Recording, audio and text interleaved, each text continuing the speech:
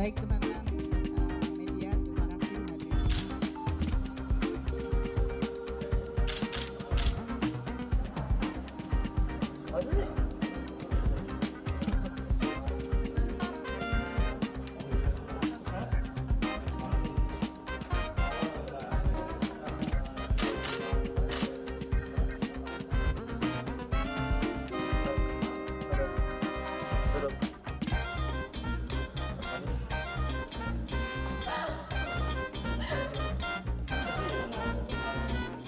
Menteri bisa tidak tahu bahwa ada uang seperti itu dan memang di luar kuasa menteri.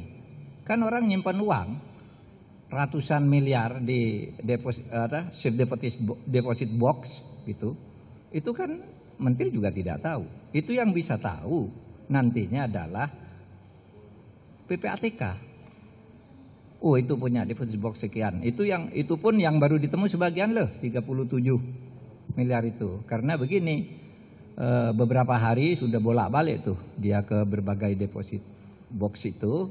Terus pada suatu hari pagi dia datang ke bank mau buka itu langsung diblokir oleh PPATK. Sudah itu dicari dasar hukumnya kalau sudah diblokir deposit box ini boleh ndak dibongkar oleh PPATK? Kan belum ada undang-undangnya, ndak boleh sembarangan.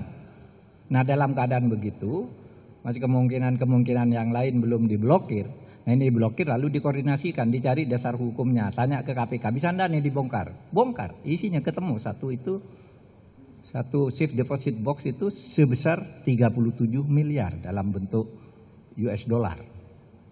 Nah, seperti itu tuh pencucian uang.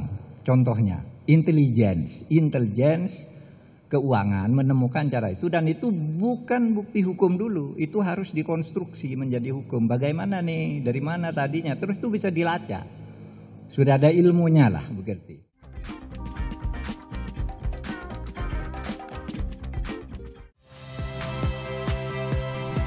Saya Yasir Neneama. Saksikan program-program Kompas TV melalui siaran digital, pay TV, dan media streaming lainnya.